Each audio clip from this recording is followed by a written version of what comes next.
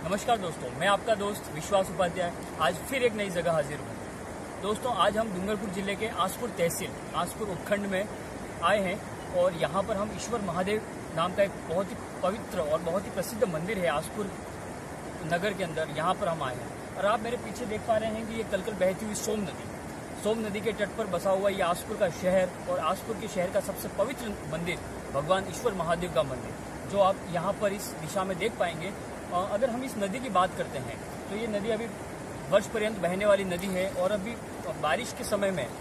पानी की अच्छी आवक हुई है और इस नदी की अगर हम उद्गम की बात करते हैं तो ये नदी ऋषभदेव की पहाड़ी से निकलने वाली नदी है। और इस नदी के किनारे पर, यहाँ पर ही आसपुर से कुछ 10 किलोमीटर की दूरी पर एक परियोजना बनी हुई है, जिसका नाम है सोमकमलामा डैम परियोजना। और उसी परियोजना के तहत इस आसपुर नगर को और आसपुर उपखंड के आसपास में यहाँ पर होने वाले सभी गाँवों के अंदर पेयजल की व्यवस्था की जाती है। और जब ये है, यहाँ पर इस परियोजना और इस डैम का जब पानी जल स्तर भराव क्षमता से अधिक हो गया है तो यहाँ पर डैम के गेट खोले गए और डैम के गेट खोलने के बाद आप मेरे पीछे ये चादर देख पा रहे हैं कि पानी की बहुत ही पवित्र और ये इस मंदाग्नि का तट और बहुत ही पवित्र पानी यहाँ पर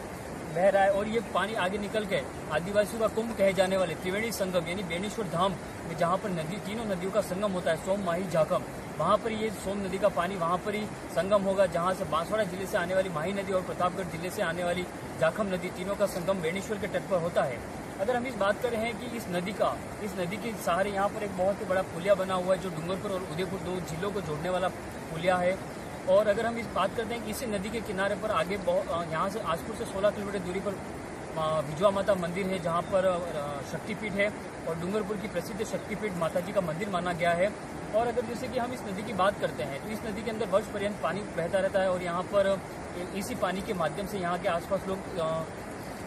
सिंचाई करते हैं और यहाँ के लोगों का लोगों के अंदर बहुत ही मतलब